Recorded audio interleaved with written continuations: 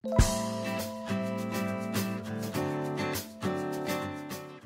าพล่าสุด แอมวลืนดา หลังหายตัวไปไม่ออกสื่อนาน 28 ปี ยังจำเธอคนนี้ได้ไหม อดีตนางเอก แอมวลืนดาสมศิริ ในเรื่องเสน่ห์ลูกทุ่ง หลังหายตัวนานกว่า 20 ปี เธอเป็นอดีตนางเอกยุค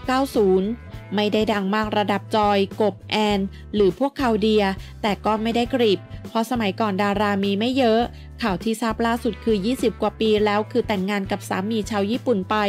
แต่คนสำหรับแอมก็ถือว่าในระดับหนึ่ง มีละครในตำนานให้คนที่เกิดทันดูพอพูดถึงอย่างเรื่อง กากับหงสะพ้ยปฏิวัติ แล้วก็นางเสือดาว แต่ชอบพี่เขามากเลยนะ คือหน้าเขาเก๋ดี เพิ่งนึกออกค่ะ เราว่าพี่เขาเหมือนนางเอกญี่ปุ่นตอนนั้นที่กำลังดังเลย แถมยังมีใบหน้าที่หวานมากๆ เล่นแนวบทแก่นๆ ถูกใจคนดูมากที่สุด แอมวาลืนดานี้เด็กค่ายอัครามีเดีย เล่นละครตอนเย็นๆ ให้ช่องเจ็ดมาหลายเรื่อง ส่งละครให้ดัง แต่ตัวเธอไม่ดังมากเท่าไหร่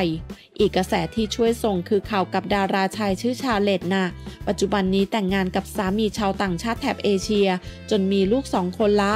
เห็นมากินข้าวเช้ากับลูกในโรงแรมย่านราชดำริอยู่บ่อยๆ ราศีคุณนายจับเชียว สวยกว่าตอนเป็นนางเอกละครอีก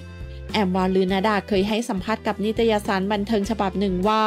ตอนที่เธอย้ายมาอยู่ที่ช่องเจ็ดเธอไม่คุ้นชินกับระบบการทำงานละครของช่อง คือถ่ายไปออกอากาศไป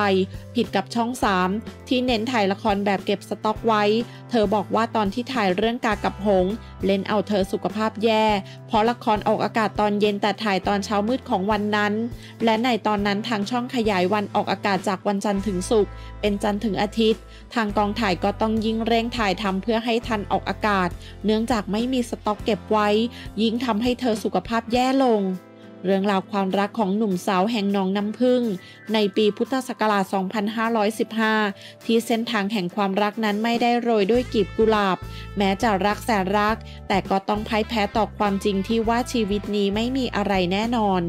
ไผ่ทุนกับยุพิน คู่รักที่เปรียบว่าเป็นมิตรเพชรราแห่งบ้านหนองน้ำพึ่ง ทั้งคู่รักกันมาก มากเสียจนไม่มีอะไรจะมาเปลี่ยนแปลงไม่ให้ทั้งคู่ลงเอยกัน ถ้าหากแม่สำเพาจะไม่คิดแยกไผ่ทุนกับยุพินให้แยกจากกันแบบที่ว่าไม่มีวันจะกลับมารักกันได้อีก โดยการจับให้ยุพินต้องแต่งงานกับไพวันลูกชายคนโตแทน แล้วจับคู่ใหม่ให้ไพฑูรย์ไปแต่งงานกับจันทร์ลูกสาวของจำเรียงคนที่มีฐานะ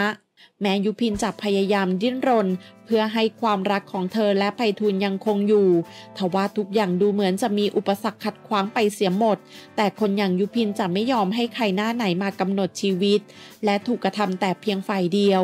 เรื่องราวความรักของเธอและไพฑูรย์อีกหนึ่งบทประพันธ์จากปลายปากกาของจุลามณี ที่เขียนโดยมีฉากหลังเป็นถิ่นฐานบ้านเกิดยังจังหวัดนครสวรรค์ เช่นเดียวกับสุดแค้นแสนรัก และกงกรรมบ้านหนองน้ำพึ่งเป็นหมู่บ้านเล็กๆ ในอำเภอลาดยาว อยู่ติดกับหมู่บ้านดงจังหัน ตำบลเนินขี้เหล็ก ซึ่งเป็นบ้านเกิดของเขา